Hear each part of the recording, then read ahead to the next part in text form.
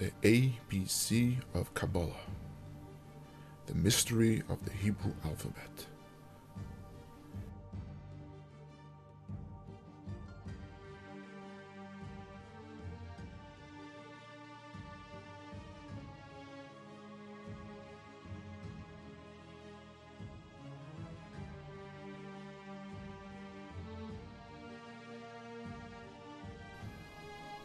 Kabbalah sees the Hebrew alphabet as the building blocks of creation and the DNA of our souls.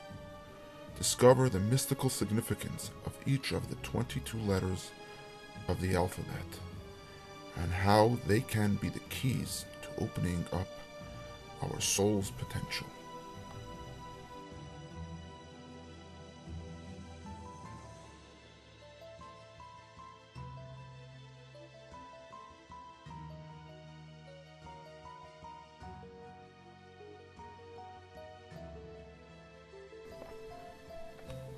This course runs for eight weeks, starting Sunday, January 6th through Sunday, March 2nd at 11 a.m. This course will also be repeated on Monday evenings at 8 p.m. starting Monday, January 7th through Monday, March 3rd. At the Jewish Discovery Center.